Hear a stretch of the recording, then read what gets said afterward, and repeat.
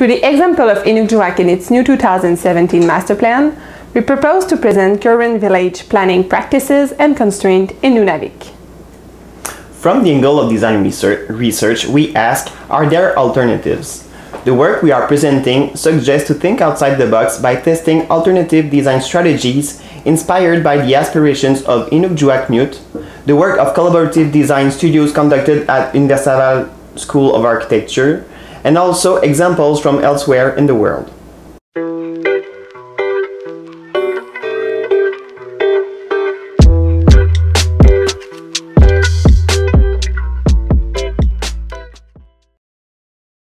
Located along the Hudson Bay coastline, Inukjuak is the third largest village in Nunavik, with a population of 1,757 persons in 2016.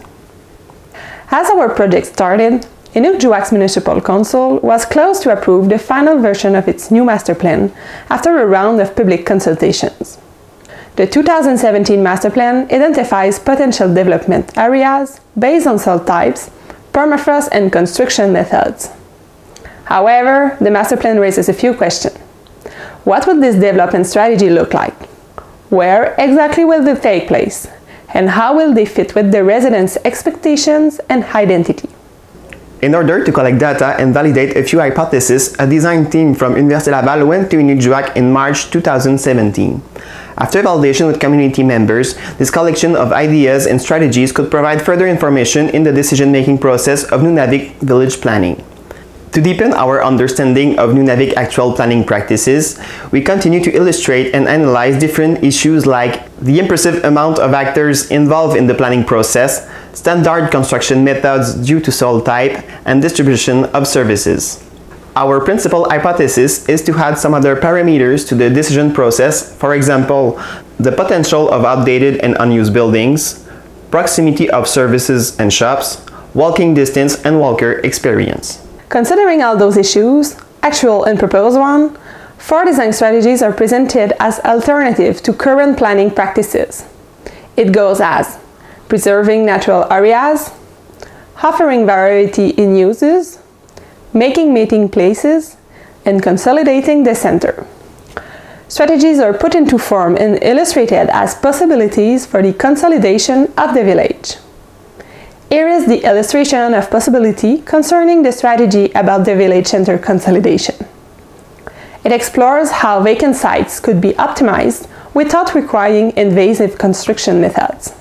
The goal is to develop strategic sector of the village in order to benefit from close relationships within buildings while maintaining the privacy and security of the occupants.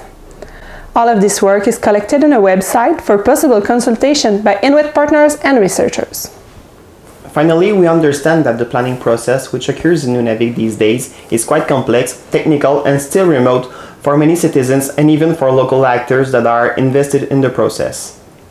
Our design research work proposed to highlight, with broad strokes, some concerns of local population and important planning issues. As you probably guess, many cultural and political issues remain puzzling from our southern point of view.